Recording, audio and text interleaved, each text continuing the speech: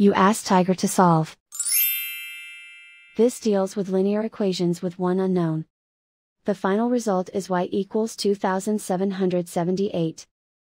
Let's solve it step by step.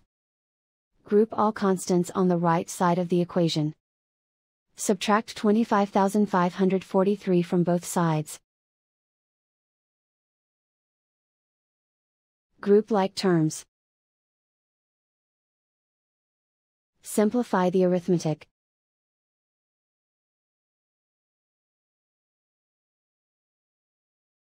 And so the final result is y equals 2778.